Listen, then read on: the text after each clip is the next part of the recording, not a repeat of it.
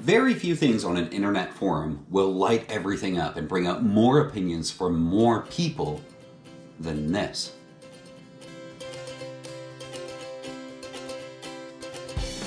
Usually we talk about boats or boat manufacturers here on Everything You Need to Know, but I've been asked way too many questions from way too many boaters to answer these few sort of simple things and I promise I will not, or I'll try not, to let this video turn into a rant.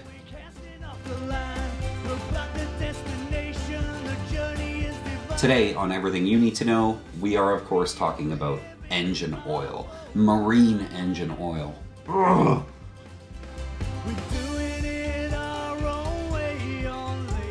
Everything You Need to Know is brought to you by patrons, people who give a couple of bucks per episode to help keep this channel improving. And thank you to the latest patron, Tim. Welcome to the family.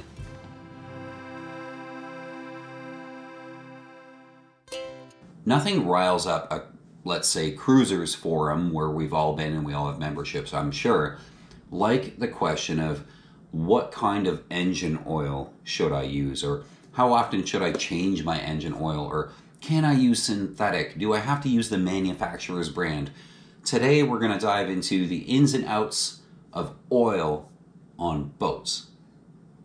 Oil is such an interesting subject, and it's interesting because the questions don't come from a lack of understanding or a lack of experience on the subject, but more from a complete misunderstanding a lot of people have and how many people claim to be experts on the internet on the subject.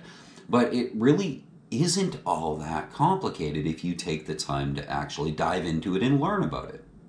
We usually talk about the history of a boat manufacturer or boat brand before we dive into it, and oil I think should be no different. We should actually cover the history, and it's only one paragraph, so it's kind of worth covering, and it's also kind of funny.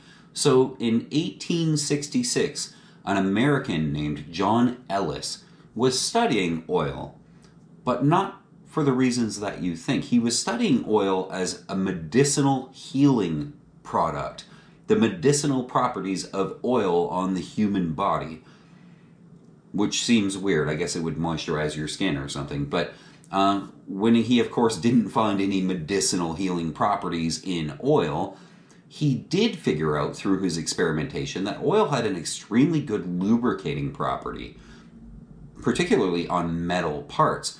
And of course, at the time, 1866, steam engines were all the rave. Um, so he sort of shifted his focus from human body medicinal purposes to lubricating steam engines, which is a pretty big change for the company that he had founded to do this thing, which is pretty cool.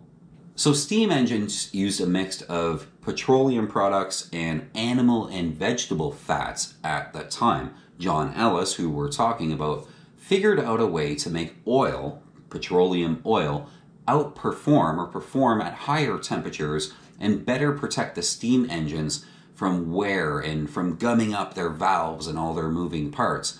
And that's basically where modern engine oil was born. So, oil as we know it in its most rudimentary sense is a petroleum product, dead dinosaurs and etc., etc., but with additives. And that's important to understand. We're going to talk a lot about additives because all of the oils have additives.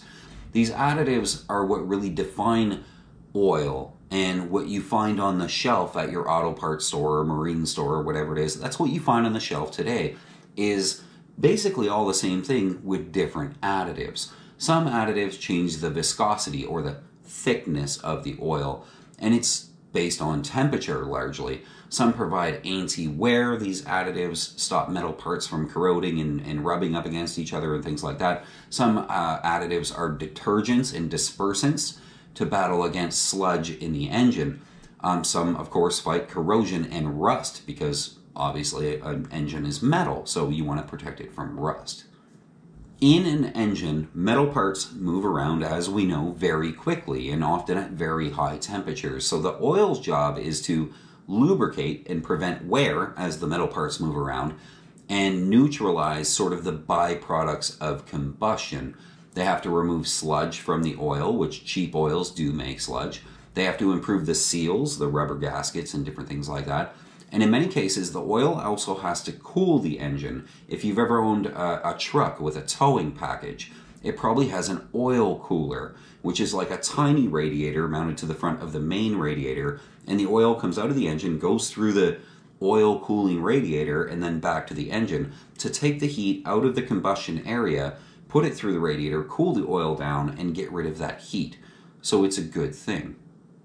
I said earlier that there's a lot of misconceptions about oil, and one of the biggest ones is the W on the bottle, on the quart, or whatever it is. It doesn't stand for weight, and a lot of people think it does, and this is because of one of the main measurements of oil is viscosity, which is often referred to as weight. Basically, viscosity is a measurement of how thick the oil is. Think of syrup or marmalade or something like that. Some engines need a thick oil to help seal the engine while it's running, while others need a very thin oil to help the oil circulate because the engine has tighter tolerances and doesn't need the thickness. On that note, you might have a tractor or an old engine that simply needs sort of a 30 weight oil. A 30 weight oil has the viscosity of 30. The viscosity or weight number means it's thicker the higher the number is. So a 20 weight is thinner than a 30 weight. Modern oils have an additive, and we talked a lot about additives. They all have additives that makes the oil thinner when it's cold and thicker when it's hot. And we see this on modern oils right on the oil jug, and it's represented by two numbers. So let's examine one oil the age old 10W30. We've all had an old car from the 80s that required 10W30. The 10 is the viscosity or thickness when the oil is cold. When the car's been sitting all night you go to start it in the morning, the oil is a 10, which is quite thin. And no, the next letter, W, does not stand for weight, it stands for winter. 10W30 has a viscosity of 10, or fairly thin, which is what 10 is, in the winter or in the cold, even if there's no winter where you live. When the engine is cold, it's a 10 and the actual additives allow the oil to know once it's warmed up to change from a 10 to a 30, which is much, much thicker. So the second number on the bottle is the warm temperature. So you have cold or winter, then the W to signify cold or winter, and then the second number is once the engine's at operating temperature, it gets thinner typically. Now, having said 10W30, we don't see 10W30 much anymore, and there's a good reason for that. Modern engines have much tighter tolerances between the metal surfaces, so the thick oil wouldn't be able to get in there. We need a thinner oil. And the most common thing you'll find today is probably a 5W20. So in the winter, 5W, it's a 5 thickness, much thinner than 10W30.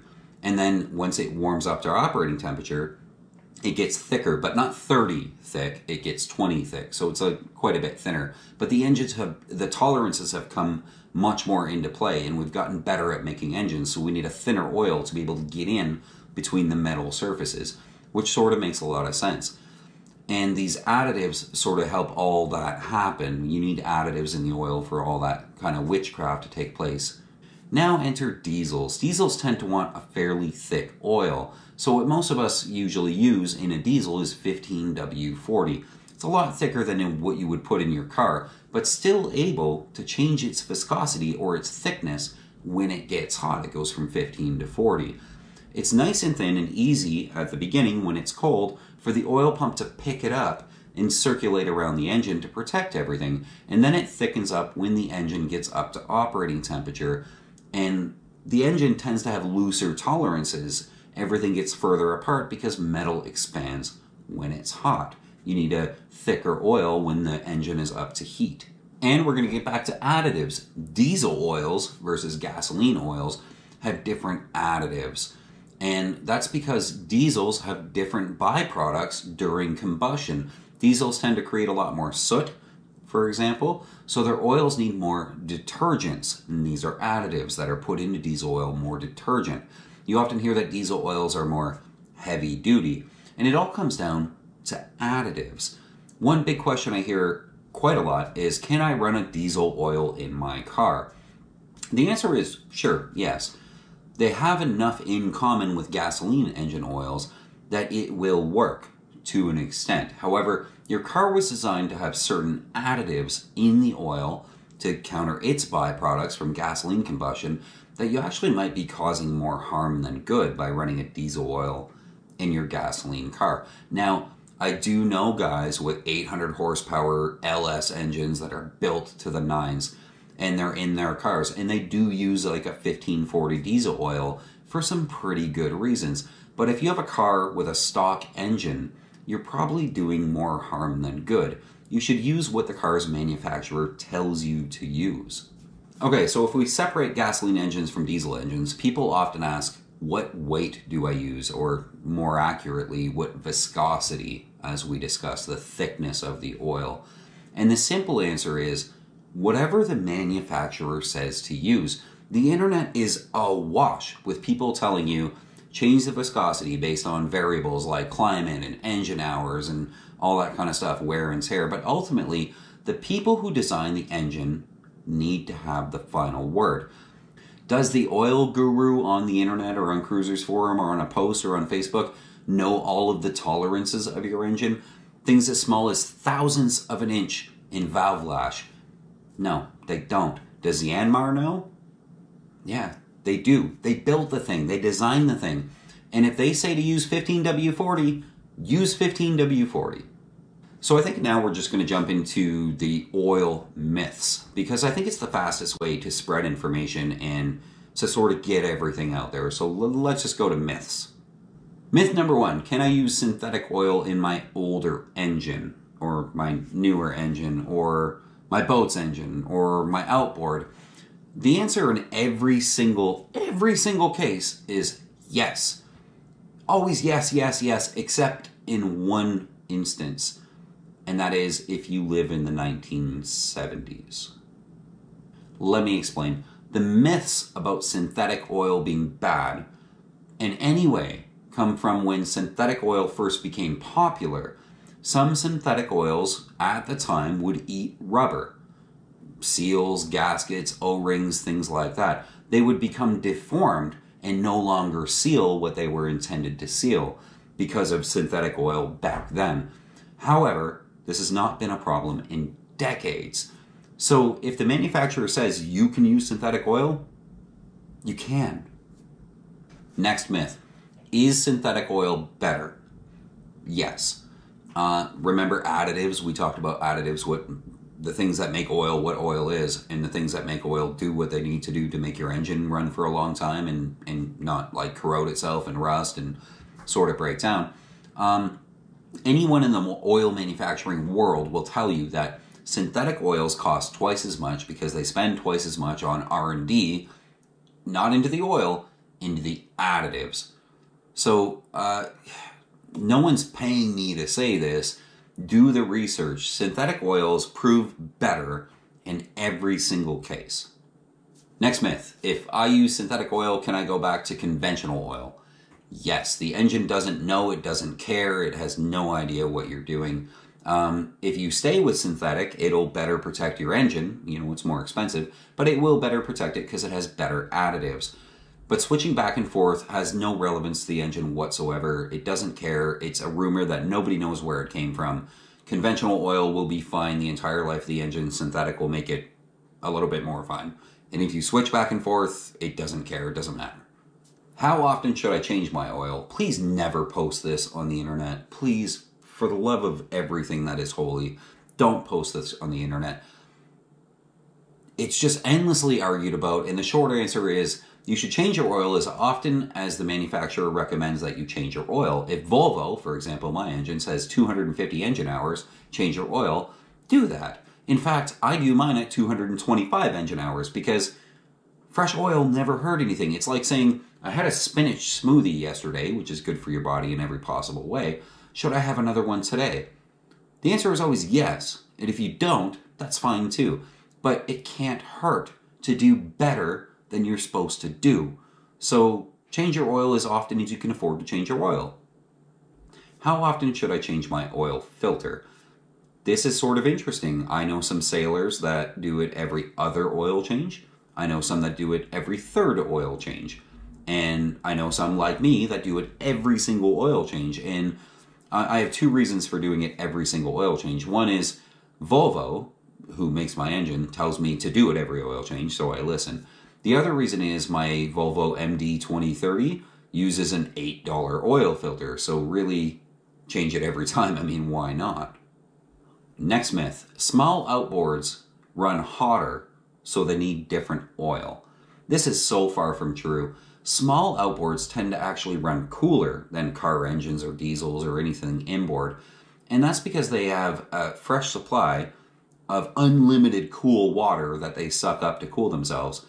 And they're outside in the fresh air, and typically, if you're running it wide open, they have a good airflow around the engine. So, on small outboards, I'm going to say use whatever the manufacturer says to use, and if you can cough up the extra cash, get the synthetic one. Next myth Can I mix brands of oil? Yes and no.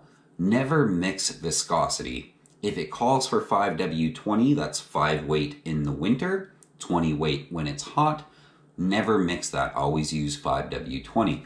But mixing brands is an interesting subject.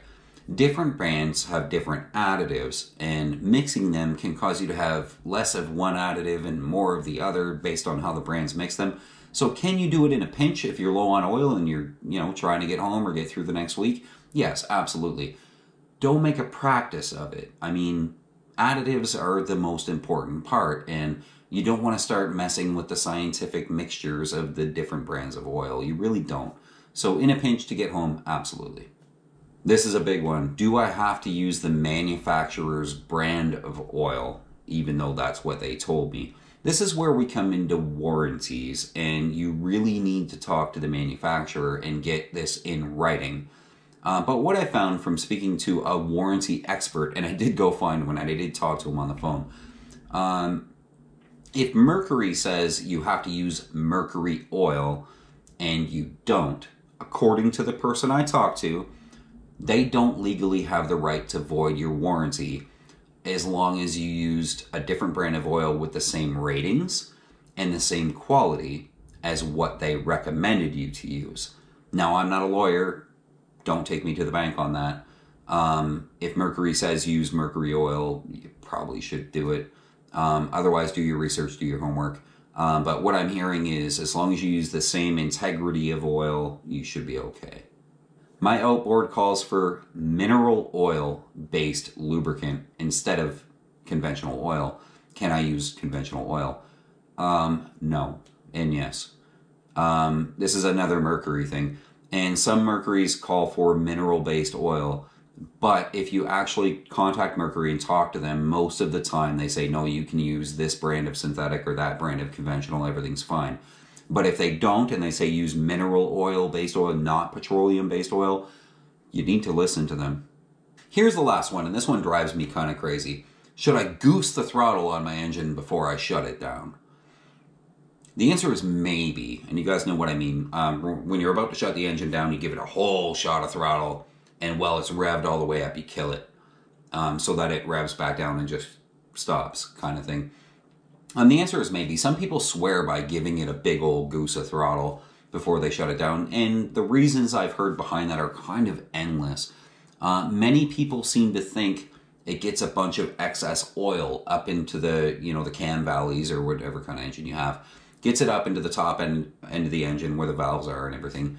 Um, so on the next engine start, there'll be oil up there. Um, that's kind of dumb because oil runs downhill with gravity and there won't be oil up there in a week when you start your sailboat again. So, seems silly. Um, from my experience, goosing the throttle on shutdown comes from the muscle car world and muscle car owners. And they do that, from my understanding, also having owned a few older cars. What you do that for is to fill the fuel bowl in the carburetor um, to make starting the car the next time easier. Which sort of makes sense if you understand how carburetors work. You smash the throttle, it fills the fuel bowl, you cut the, the key, the fuel pump shuts off, fuel bowl is full. So next time you go to start the car, it might be in a month, might be in a week, you hit the key and the fuel bowl is full. Um, kind of makes sense, but it has nothing to do with oil. Modern engines are very, very good at getting oil where it's needed as soon as the engine starts to spin. So, in fact, they're designed with this in mind. goosing the throttle on, let's say, a turbo diesel, all that's actually doing is spooling up the turbo really, really fast and then cutting fuel, which is bad for the turbo. It doesn't cool the turbo. It just it, it's all around bad. So before you goose the throttle and kill the ignition, maybe do a little bit of research into your engine and, and how it sort of works and figure that out for yourself. But it sounds like just an all around bad idea unless you have a 71 Hemi Cuda. So, as a conclusion, I think you've noticed the theme here. Um, whatever the manufacturer says is what you should do. Don't go on internet forums asking what you should use for oil or how often you should change your oil. In any engine made within the last 40 years, there's really no greater expert than the person who made it, who designed it. Who knows what the tolerances are of the engine and what the needs are of the engine better than the person who actually designed it and actually built it? No one on the internet can answer your questions better than them. See y'all next week for another episode of Everything You Need to Know. If you want to see a certain subject, please drop it in the comments below. I love you guys. I'll see you on Friday.